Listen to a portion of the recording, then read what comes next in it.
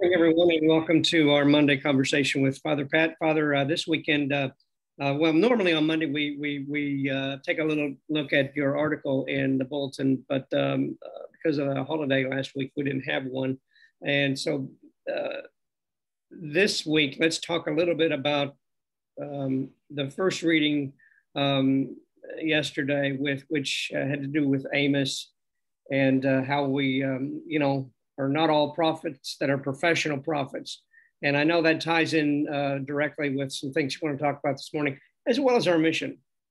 Yeah. So uh, I was struck this weekend by uh, Bishop Barron's reflection uh, on the, uh, particularly on that first reading from from Sunday. It's reading from the prophet Amos, where where Amos says he, he says, "Look, I I'm not a professional prophet. You know, I don't know why God called me. Uh, I'm, I'm just a simple shepherd and dresser of sycamore trees and, and all. And Bishop Barron in his, his homily pointed out how, you know, we're all kind of like that, that, that, that in our baptism, we are all called to be priests, prophets, and kings.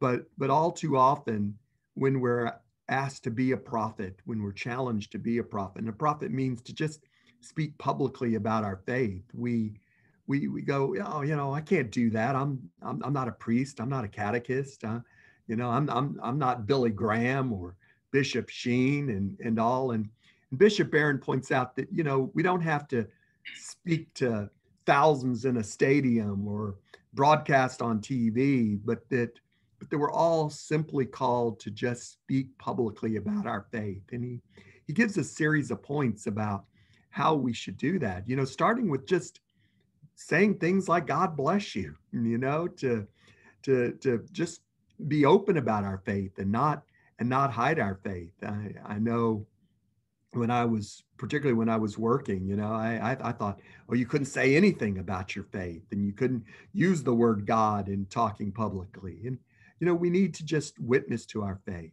And one of the things that we've been talking about, uh, the team that's been looking at the disciple maker index survey and our results from that is is how as a parish we we need to do a better job to uh, equip ourselves to talk about our faith.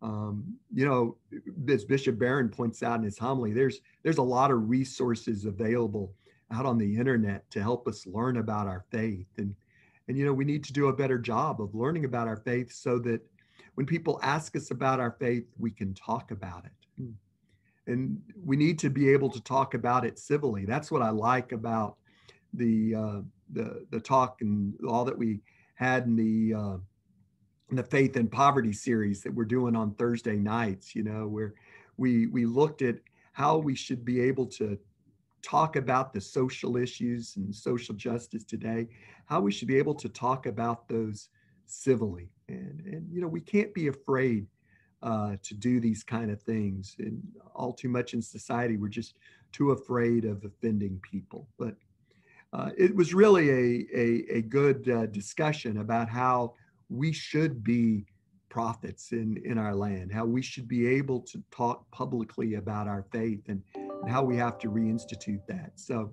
um, you know, I encourage people to uh, listen to his homily uh, next week. Uh, my bulletin article will talk a little bit more about this. And I hope uh, that it's the start of a conversation we can have uh, here in the parish about how we can better equip ourselves to talk about the faith, how we can talk in a civil and, and, and dialogue about the issues that are facing our faith, be able to answer people's questions about our faith and, and not to be afraid of, of that as we go forward.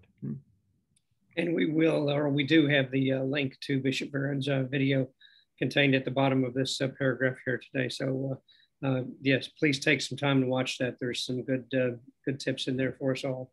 Father, thanks. And we'll talk to you again later this week. All right. Yeah.